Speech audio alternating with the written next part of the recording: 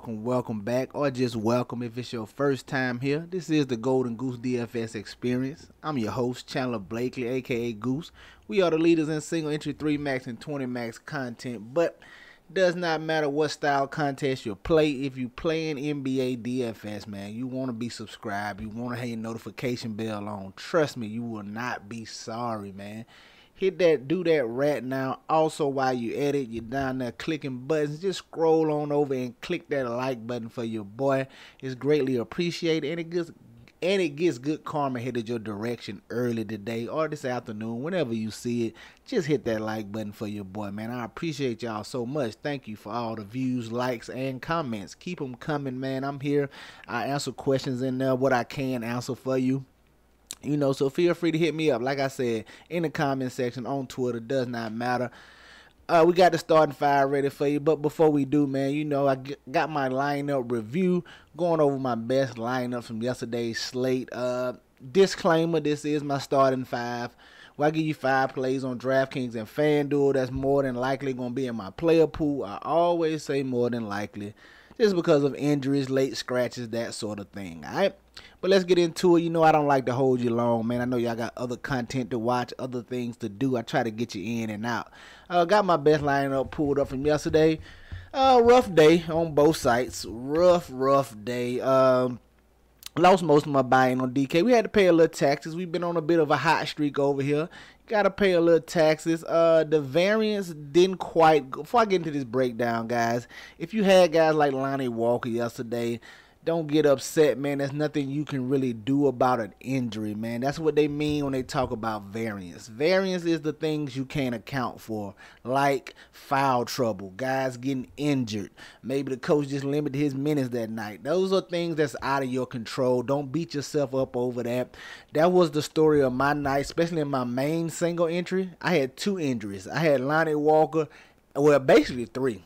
Because if you don't know, Cam Johnson got a little banged up here and couldn't close out the game. He could have gave you a bigger score. So technically, I had three injuries in my main lineup. Cam Johnson, luckily he gave us a, a good score before he exited in the fourth and couldn't close out the game. Lonnie Walker hamstring got hurt, and I had Gary Trent Jr. He hurt his back. So my main single injury had Lonnie Walker and Gary Trent in there. When you got two guys that combine for six points, pretty much your night is over, man. Once I saw that, when I saw that Lonnie Walker injury, I'm like, okay, we still got a little life because I knew he was so high on that we still can find our way to the cash line. But once Gary Trent got injured in the second quarter and was done for the game, I knew my night was over, man. Like I said, if you got two guys, sometimes you can fail uh, in one spot, especially if a guy is super high on and still get there. But when once you feel in like two spots, your, your, your night pretty much over, man. Unless it's just some type of crazy night. So uh, news a wrap for me with them injuries. This is my highest scoring lineup right here.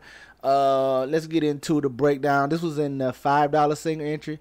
Cam Thomas up top, man, 37% on. He had an okay game at 32 fantasy points. Got the Dennis Smith Jr. here, 6% on, man. 36 fantasy points. Very nice outing from him. Undoubtedly benefited from that Lonnie Walker injury. Uh, last night, man, uh, the guys we were high on, AD and Maxey. Uh, Maxey got in a little foul trouble early on, and by what I mean by early on is three fouls in the first quarter. So that really hurt his uh, first half run.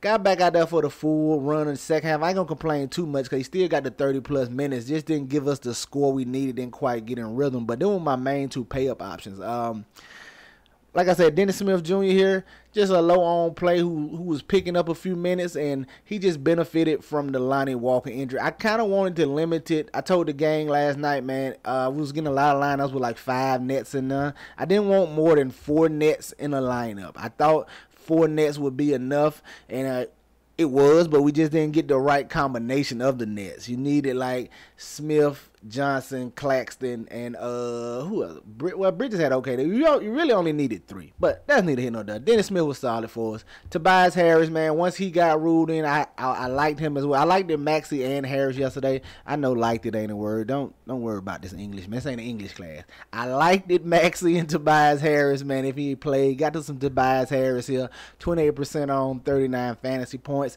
Miles Bridges went back to that well. I was on. I, I, told you yesterday. I like Brandon Miller. I like those Charlotte guys. The Lakers defense isn't that uh, amazing, and they can be had. So got to some Miles Bridges. Definitely got to some Brandon Miller. I should have got to some more of them as he had a, gave you a repeat of form, performance. But Miles Bridges was solid at 14%, 49 on. AD man, your highest scorer of the night, absolutely cooked. You saw the video yesterday. You know I was on him, and and I was still on the Luka fade train last night. Very little Luka, and I still played some Kyrie. He had a solid game for us. But AD out the gate, man, the monster, your highest score on yesterday's slate, 70 fantasy points from him, and in a nice triple double outing against the Hornets. Lonnie Walker, 60% on. Hurt, uh, I think it was hamstring. It, like I said, just nothing you can do about that. 3.5 points from him. Oh, Kongwu here, 79%. Definitely a letdown, man. He he pretty much 5x, but you expected more from him in this spot against the Clippers, especially with the way this game finished. 149 to 144. Come on, Okongwu. Got to give us a little more than that at 79% on. Cam Johnson down here at 43% on. Nice night. He had a hot night shooting the ball. Hate he got injured and couldn't get that closing run. He could have probably dropped a 40 burger for us here in this spot at 5K. 293, my high scoring line. Like I said, rough night on DK. Lost most of the buy-in over there. Those type of nights happen. We're gonna shake it off. Uh, FanDuel, rough one over here on FanDuel. Maxey at the top, my guy, 40% on. As you can see, only 25 fantasy points. And Spencer Dinwiddie, man, is officially dead to me officially dead. I I gave him one more try, man, because I, I knew everybody was going to these nets and nobody was going to Spencer Dinwiddie. So I left him in here. I was on the verge of taking him out, but I'm like, I'll give him one more try. And he just failed me once again. In big minutes, played like 37 minutes. He's just officially dead to me unless people are hurting out over here for the Nets. My boy Brandon Podziemski, 76% on, 32 fantasy points. Okay for him at his price tag. Here's the other injury I told you about right here. Gary Trent, man. Thought he could be a sneaky value piece going against these Pelicans, but he hurt his back. And it was over with for him early too as well. Only three points from him hurting this lineup. Like I said, injuries hurt me a lot, man, and just variance foul trouble for Maxey. Still had Bridges in here, 47. Both the Bridges in here. Uh, Miles Bridges, 46 fantasy points. Mikal Bridges with a letdown, 29 fantasy points in this spot. Went back to some PJ Washington. He came through again with a nice solid effort, 33 fantasy points from him at 23% on Okongwu here. 25, just not enough for his price tag. And then Jakob Poeltl trying to get different with my centerpiece around here. He was okay, 32 fancy points for him.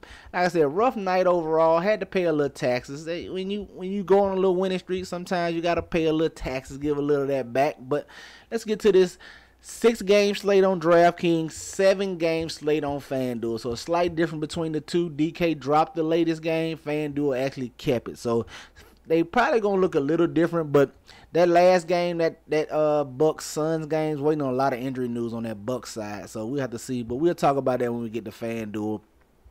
Let's talk about your starting five on DK. At the top, man, I want to look at Jalen Green. Need I say much? They're playing the Pacers. You didn't heard me harp on that for the longest.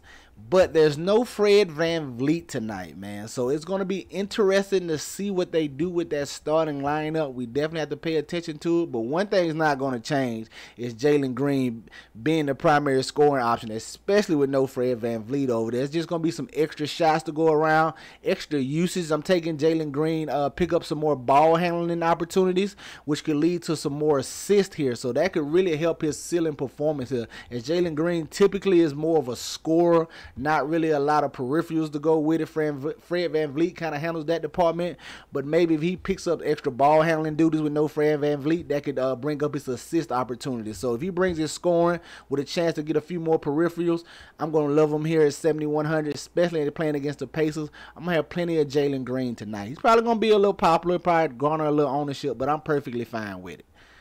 Dennis Smith Jr., 4,200. Now, we're waiting on some Nets injury news, but I'm anticipating Lonnie Walker being out, and we saw Dennis Smith Jr. pick up those minutes last time out. But you also get the caveat of Cam Johnson is questionable. He may be out. So you could get no Cam Johnson No uh Lonnie Walker here in this spot. Still waiting on Ben Simmons news. That could affect some of his play if he comes back. But we definitely gotta wait on that news. But with the way he's playing, man, the way he played the other day, he's been solid in his 20 minutes off the bench. Had a very solid game last night. I definitely got my eye on him right here with all those injuries. We're gonna have to pay attention to the news, but I definitely think Dennis Smith Jr. is in play. All right. So it could be if Cam Johnson sits and Ben Simmons plays, maybe he starts there, but I don't think Ben gets big minutes. I think Dennis Smith Jr. season increase the minutes. Hopefully he can get 25 to 30 here in this spot, and I like the price tag on him at 4,200. At the small forward, it could be Cam Whitmore season he should pick up more minutes with no Fred Van, with no Fred VanVleet over here. Now we gotta see what they do with the starting lineup. Maybe they bring in Amen Thompson or uh, I think they got the other Holiday over there. We don't know who they're gonna start at point guard, but it's a lot of ways they can go with it. They could bring Amen Thompson, let him start at the, one of the back courts, or they could just bump Jalen Green to the point move Dillon Brooks to the two, let Cam Whitmore start at the two or three, however they want to do it. It's a lot of ways they can go with this starting lineup. But no matter how they do it, I think Cam Whitmore sees increased minutes. He's been playing well off the bench. I know you've been seeing the highlights if you've been watching, but he's been playing very solid. He's definitely the number one candidate to pick up minutes here, in my opinion, with with no Fred Van VanVleet. I could be wrong, but we'll see. Cam Whitmore probably going to garner some ownership. He's definitely going to get big time ownership if he moves into the starting lineup. But definitely to get you some Cam Whitmore in this great game environment against the Pacers. At the power forward spot, I want to look at Karl-Anthony Towns. Price is coming back down on him, 7,900 in a spot here against the Chicago Bulls. A pace down spot for him, but the thing I'm looking at here it could be fed through him a little more. Now we're gonna need some Bulls news. If Alex Caruso plays, I definitely, definitely love Karl-Anthony Towns because Caruso playing means some better on ball defense against Anthony Edwards. Not saying he can stop Anthony Edwards. Edwards can get his shot off against anybody and have a good game, but a tough defender like Alex Caruso definitely could bother him a little bit. Maybe he defer on a few more possessions. Whereas a guy like Cat Karl-Anthony Towns just has that the Bulls don't have a body they could throw on him down there. Vooch is gonna be over there with Gobert out the picture. Even if he wasn't, they wouldn't put Vooch on Karl-Anthony Towns. I don't know who they started this power forward to put on Towns. If the Minnesota Timberwolves are smart, man, they should feed Towns as he's gonna have a mismatch no matter who they start. They just don't have the size to contend with him up there. I like Karl-Anthony Towns in this spot, man. Hopefully he can have a big one for us at 7,900. He should just be able to have his way down low. Sign me up for Cat here. All right. Then at the center, man, I want to look at John Collins. Now, I know I told you in the past, the only guy's minutes I'm confident in is Lauri Markkanen. So that's really like the only jazz player I play on a consistent basis.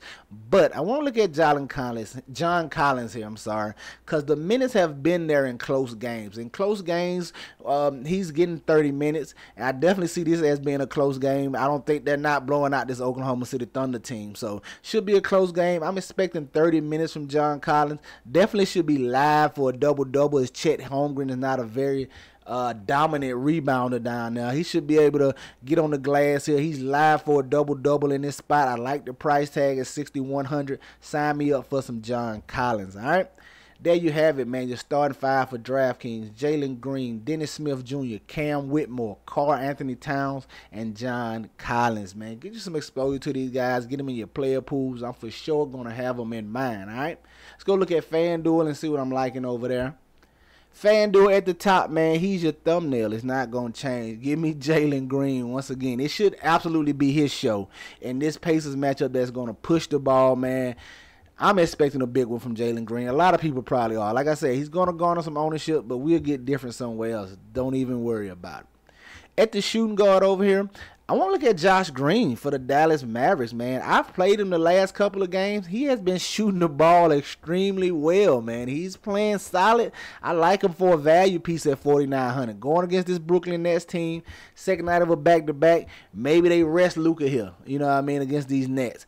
I don't know, but I'm probably still on the fade Luka train again. If you're wondering, I have no problem going back to Kyrie, and I definitely want to get to some Josh Green with the way he's been playing and shooting the last couple of games. I like this price tag. I like the matchup against the Nets.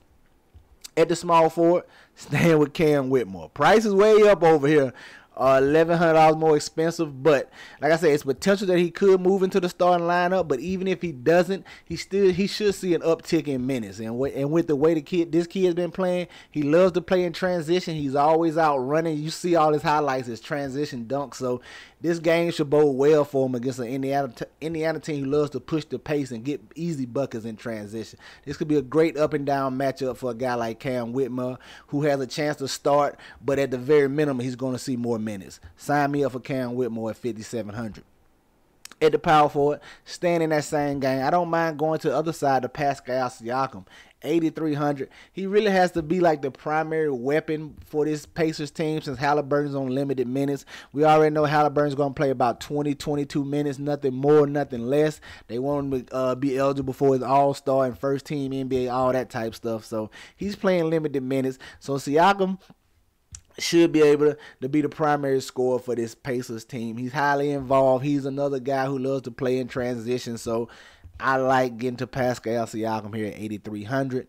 And then at the center spot, man, staying with my boy Karl-Anthony Towns. $200 more expensive. I know nobody's really going to be on him here in this spot. He let you down last time out, man. I expect to bounce back from him here. He just didn't shoot the ball well last game. I expect him to get going here against this Bull team that I have no fear of their defense at all. All right, there you have it, man. You're starting five for FanDuel: Karl-Anthony Towns, Pascal Siakam, Cam Whitmore, Josh Green, and Jalen Green. Man, get you some exposure to these guys. Get them in your player pools. They for sure gonna be in mine. All right. That's gonna do it for us here today, man. Y'all know questions, comments, or concerns. You just want to say what's up. Leave it in the comment section. You know I reply when and where I can. All right.